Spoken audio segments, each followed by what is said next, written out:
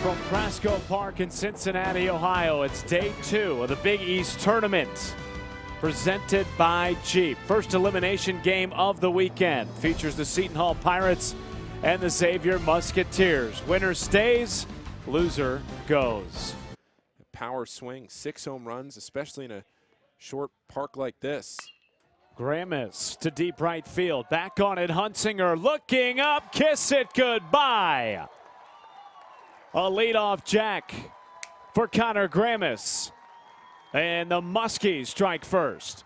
Well, a short park, Matt. It's exactly what he does. Takes advantage to right center. His seventh home run of the campaign, and it's Xavier's first run of the Big East tournament. They waste no time getting on top.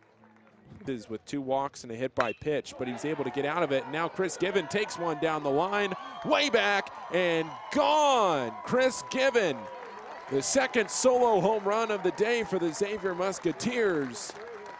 And he doubles the Xavier lead.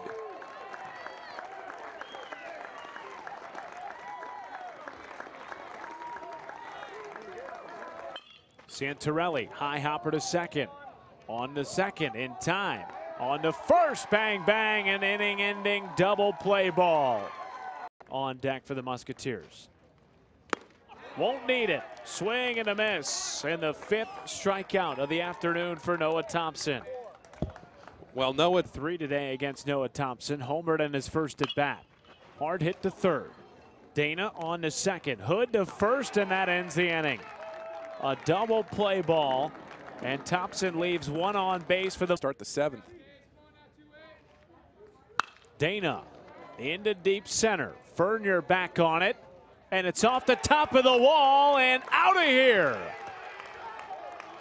A solo shot to dead center. And Dana sneaks it over the wall.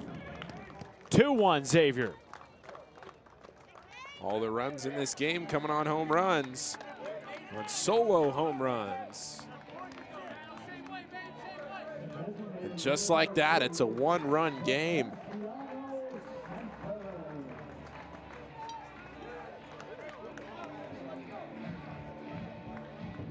Andrew Sexton taking over in center field. Sexton looking at it, goes off the top of the wall.